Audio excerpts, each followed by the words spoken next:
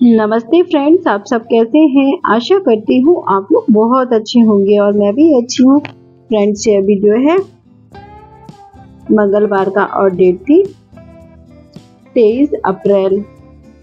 और अभी सुबह के बजे थे, पौने पाँच और मैं उठ गई थी। उठने के बाद जो ब्रश वगैरह और जो डेली का रूटीन होता है, उससे फ्री हो गई थी। झाड़ू वगैरह मैंने बाहर लगा लिया था। फिर उसके बाद मैं आ गई थी किचन में और अभी पार्ट के स्कूल भी चल रहे हैं और घर पर ढेर सारी शादियाँ हैं तो काफ़ी सारी शादियाँ हैं तो उनमें काफ़ी व्यस्त रहती हूँ।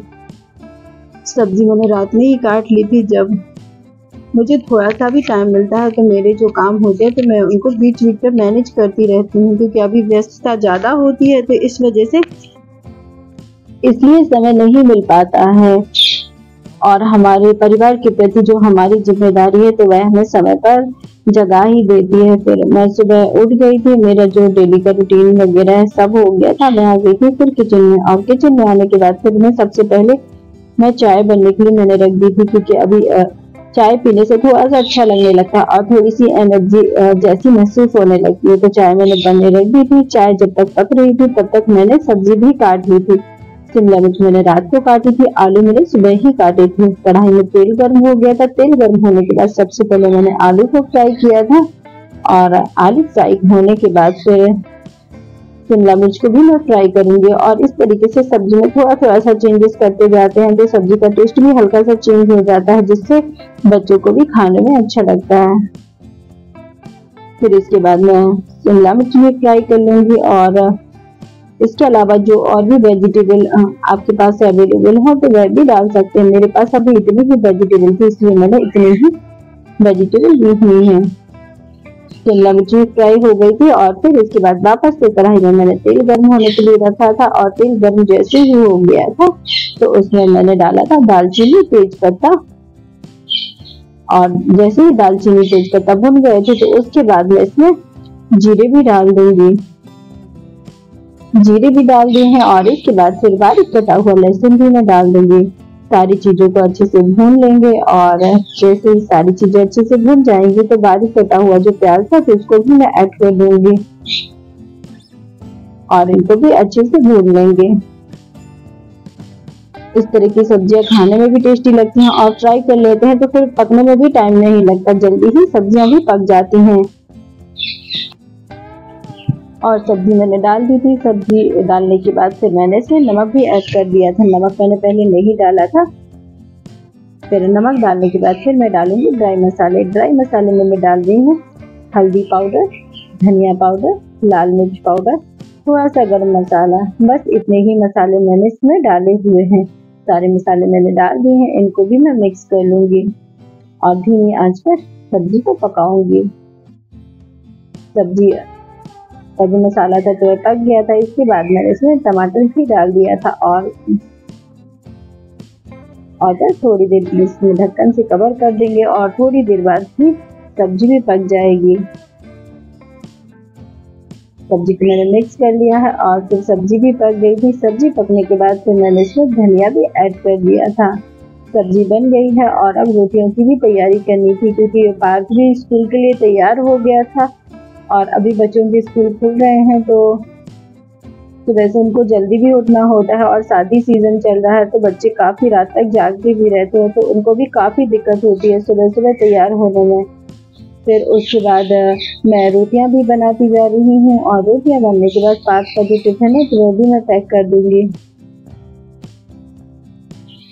और आज पार्थ थोड़ा सा उठा था तो इस वजह से उसको तैयार होने में भी देर हो रही थी। फिर पार्थ चला गया था और उसके बाद फिर स्कूल जाने के बाद फिर मैं झाड़ू भी लगा लूँगी, क्योंकि सुबह काफ़ी जल्दी पार्थ जाता है तो इस वजह से कभी झाड़ू लग पाती है कभी कभी नहीं लग पाती है। फिर जो झाड़ू थी तो झाड़ू मैंने लगा ली थी। झाड़ू लगाने के बाद फिर उसके बाद मैं पोछा भी लगा लूँगी।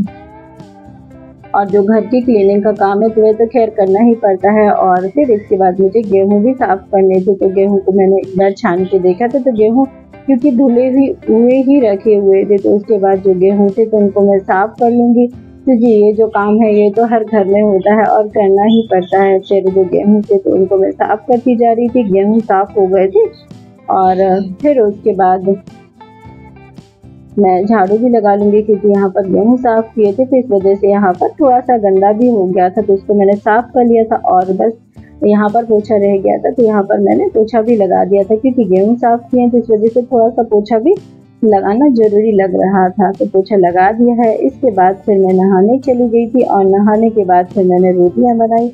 रोटियाँ बनाने के बाद फिर हस्बैंड भी खाना खाकर ऑफ़िस चले गए थे और बर्तन बहुत सारे इकट्ठे हो गए थे क्योंकि अभी काफ़ी सारे काम रहते हैं। क्योंकि अभी घर पर ही शादी हुई थी तो इस वजह से मेहमानों का भी आना जाना लगातार लगा रहता है। पूरा दिन इसी में बिज़ी रहती हूँ और बीच बीच में दिन में मार्केट भी जाना होता है। पता नहीं होता कब मार्केट जाना पड़ता है, अचानक से ही मार्केट जाना पड़ता है। तो इस तरीके से जो बीच बीच में मेरे काम होते हैं तो मैं उनको भी समय निकाल कर करती रहती हूँ। क्योंकि हस्बैंड अभी बिज़ी चल रहे थे तो इस वजह से जो सारे काम है तो मैं ही मैनेज कर रही थी। बर्तन धुल गए थे, फिर उसके बाद हस्बैंड कुछ सामान भी लाए थे तो ये भी नहीं रखा हुआ था तो इसको भी मैंने रख दिया था। और फिर पार्थ भी आ गया था तो बस मैं भी कुछ कुछ चीज़ें दिखा रहा था और कुछ देखता जा रहा था और हस्बैंड कुछ कुछ चीज़ें लाए थे तो वह उन्हीं को खा कर देख रहा था कि कैसी लग रही है। तो बस फिर उसके बाद सारा सामान मैं अरेंज करती जा रही हूँ और किचन मैंने क्लीन कर दिया था, बर्तन भी सभी साफ़ हो गए थे। फिर सारा जो किचन का काम है तो वह खत्म हो गया था और जो मेहमान आते हैं तो उनके साथ भी थोड़ी देर तो बैठना ही पड़ता है। तो बस इसी तरीके से जो मैं, मेरा काम है तो मैनेज कर रही हूँ। और बीच बीच में जो जो चीज़ें मैं निकालती हूँ तो उनको भी व्यवस्थित रखती जाती हूँ। फिर मैं मिलती हूँ सीधा शाम को और हस्बैंड आ गए थे, चाय वगैरह मैंने बना ली थी और चाय बनाने के बाद फिर थोड़ी देर बैठी थी सभी लोग और फिर जाना था शादी में क्योंकि मामा की बेटी की शादी थी। तो वहाँ पर भी जाना था। और हस्बैंड बिज़ी थे क्योंकि उनके ऑफ़िस का भी एक कार्यक्रम था तो दोनों ही कार्यक्रम एक दिन थे तो आ, बस ये डिसाइड हुआ था कि मैं जाऊँगी मामा के यहाँ और हस्बैंड जाएँगे। ऑफ़िस के स्टाफ का जो कार्यक्रम था तो वे उसमें जाएँगे फिर बस यही डिसाइड हो गया था और फिर उसके बाद मैं तैयार होने लगी थी हस्बैंड भी तैयार होने लगे हैं। और आजकल तो शादियाँ ही कुछ इतनी ज़्यादा निकल रही हैं कि हर रोज़ शादी में बस जाना ही होता है और कुछ कुछ जो कार्यक्रम होते हैं तो बहुत ही ज़रूरी होते हैं, क्योंकि घर परिवार के होते हैं तो उनमें तो जाना ही होता है। फिर बस थोड़ी ही देर में मैं तैयार हो जाऊँगी। और फिर तैयार होने के बाद हम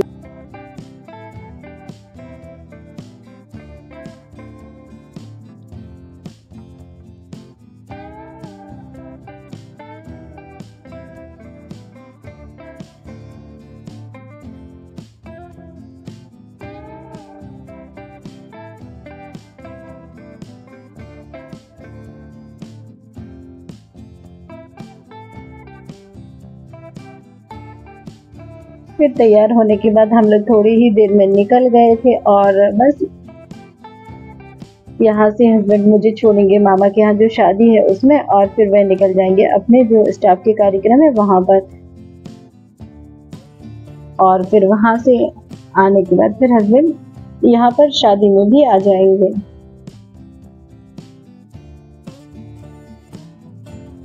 क्योंकि लोकल में ही सारे कार्यक्रम होते हैं तो बहुत ज़्यादा दिक्कत नहीं होती। बस थोड़ा थोड़ा टाइम मैनेज करते रहते हैं तो इस तरीके से जो कार्यक्रम है तो वह भी मैनेज हो जाते हैं।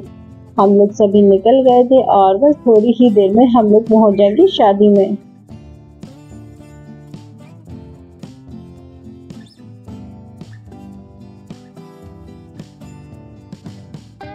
और इसके बाद हम लोग पहुँच गए थे शादी में और शादी में पहुँचते ही सभी लोग मिल गए और सभी भाभी लोग बैठी ही हैं और बस कुछ मामी है, कुछ मौसी है, कुछ मामा की बेटी है, कुछ मौसी की बेटी है तो बस इसी तरीके से हम लोग सभी मिल रहे थे और बस थोड़ी देर यहाँ पर हम लोग बैठे और बस थोड़ी देर बैठने के बाद हम लोगों ने खाना खाया।